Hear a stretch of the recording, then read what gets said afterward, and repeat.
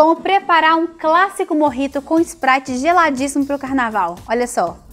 Em um copo alto, adicione o açúcar, as folhas de hortelã e vai passando por todo o copo. Deu aquele cheirinho? Coloque o suco de limão e misture. Preencha o copo com cubos de gelo, junte a dose de rum e complete com Sprite bem gelada.